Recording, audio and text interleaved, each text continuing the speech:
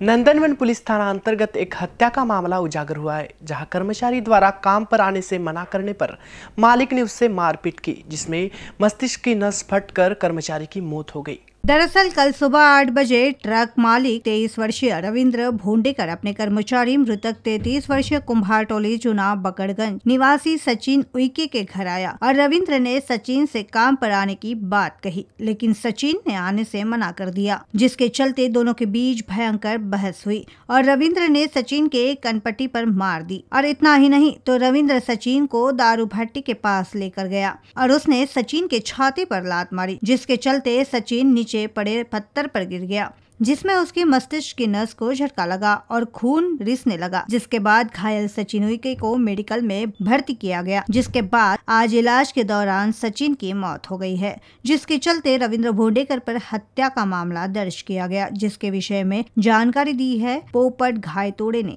यामध्ये सचिन यशवंत उइके हा तरुण ट्रक चालक म्हणून काम करतो. दर्शन भोंडेकर या ट्रक मालकाकडे तो गेली दोन महिन्यापासून नोकरी करत आहे. काल हा ट्रक मालक ह्या या ट्रक चालकाच्या घरी आला आणि कामावर चल असं बोलला परंतु त्याची कामावर जाण्याची इच्छा नव्हती आणि त्यावरून त्या दोघांमध्ये वाद झालेला आहे. एकमेका या ट्रक चालकां मालकाने त्या चालकाला धक्काबुक्की केलेली आहे आणि त्या धक्काबुक्कीमध्ये याचं डोकं बाजूच्या भिंतीला लागून तो त्यामध्ये बेशुद्ध झालेला आहे. त्यानंतर त्याला ट्रक मालकाने वे वेगवेगळ्या हॉस्पिटलमध्ये नेलेलं आहे आणि शेवट त्याला मेडिकल हॉस्पिटलमध्ये ॲडमिट केलेलं आहे. परंतु त्या ठिकाणी उपचार चालू असताना तो आज मयत झालेला आहे.